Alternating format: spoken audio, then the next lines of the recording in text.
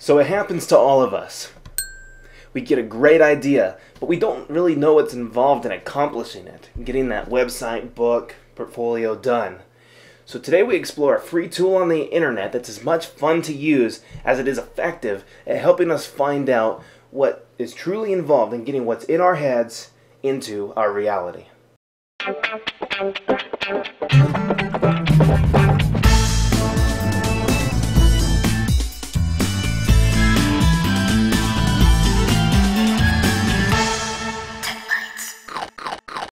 Today we're going to look at Bubbl.us. They're a relatively new website in the industry of brainstorming and mind mapping. The idea is this you start with a centralized idea or a thought, and then you branch out from it to find out what's involved or related to that idea. First, we're going to start out with the anatomy of the website, and then I will show you an example of how you can make your thoughts a reality in Bubbl.us. The first thing you need to do is go to bubbl.us. Just click in your address bar and type bubbl.us. Once there, click the Start Brainstorming button.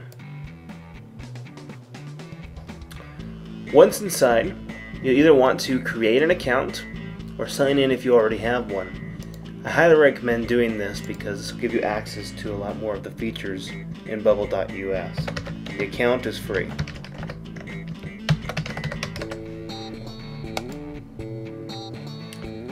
Once you have a registered account, um, you'll be able to access any of the sheets that you've made previously, like I have here. Let's take a moment and just look over the layout of this page. Uh, there's a lot you can do with this program, so I'm just going to cover the basics. Right in the middle we have our main bubble. This is where we'll put our main thought or idea that we'll be brainstorming from today. Over on the left we have the Set Print Area button which is great when you're ready to print your uh, your project. You can use this to just say where what exactly you want to print on the page. You also have zoom buttons, this plus and minus. This will allow you to get a bird's eye view or get in real close. You can also zoom by rolling your mouse wheel, which I prefer. Um, you also have an undo button, and a center button that will return your main node to the center of the screen, regardless of where you put it. On the right side, you have the Account, Contact Us, and Sign Out buttons. Those are pretty standard fare. You also have three tabs. The most important one is My Sheets. This is all the projects that you've made over time, if you've saved them. You can also create a new project here, if you want to start over. And you can also use the Sharing button to share these with your friends. The Friends tab shows you your current friends. You can also add friends by using the Find Friend button. Or if your friend does not have an account with Bubbl.us, click, click here to invite them by email. And if they join, you'll be able to share. Any projects you're currently sharing will show up in the Collaborate tab. This little help box right here is context sensitive. If you move your mouse over a button on the screen, you'll get a uh, help item in the help box telling you what that button does. Lastly, the menu button gives you several different links. The send read-only link allows you to send a version of your project that cannot be edited to a friend.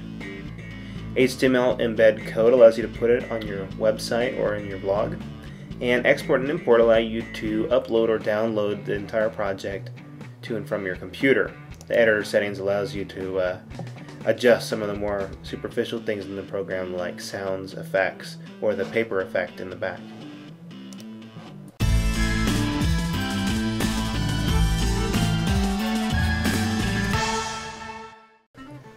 Alright, now let's try our hand at actually making our first sheet. Click where it says Start Here to name your first bubble. Let's say that our idea was to start a ferret business.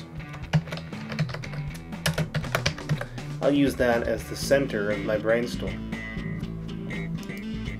Now, if I wanted to create children to this bubble, these would be the things that are branching out from this idea. I'd use the child button right here.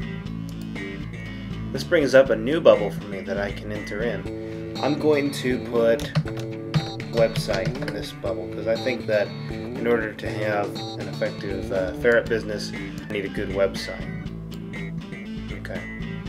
Now, I'm going to need more than just one child to this ferret business because obviously the website's not the only thing I need. So I'm going to use the sibling button right here on the website bubble to create another bubble right next to it. And we're going to name this one Ferret Resources. These are the tools that I'll need to run my business, the different things that I will need. So now I want to add a child to Ferret Resources. Now I can just click new child balloon again and here I go. I get another color bubble. Now this one's attached to Ferret Resources. Let's call this one Ferret Kennel. I'm gonna have to find someone who's breeding ferrets so that I can sell them. Now, that's not the only child that goes under ferret resources, so maybe I'll click for another child. And I'll name that one Ferret Product Vendors. This is the person that will be selling all the different ferret products that people will need to keep their ferrets healthy. Now, because he's a product vendor, I mean, I'm actually going to want to offer that right on my website. So I want to connect this to my website, um, not as a child, but just, just to say they're connected. So what I can do is I can click and drag this little blue circle icon here right onto the node that I want to connect. By doing that, I get an arrow that tells me that those two are connected. Now you can delete arrows just by clicking them if you want to uh, disassociate the two.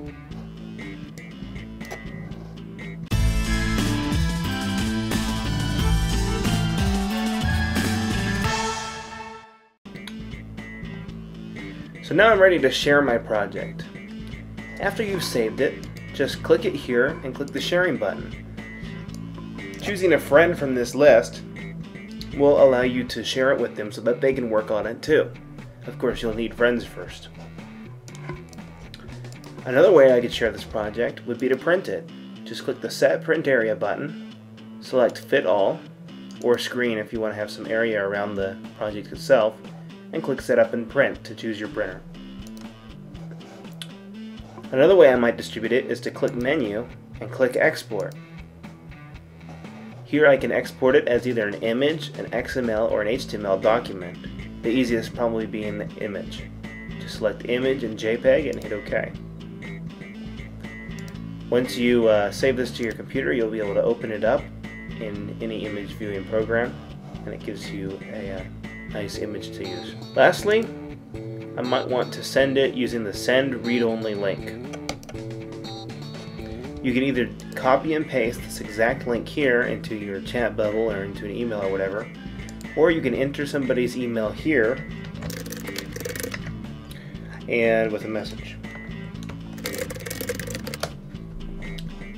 And then click submit.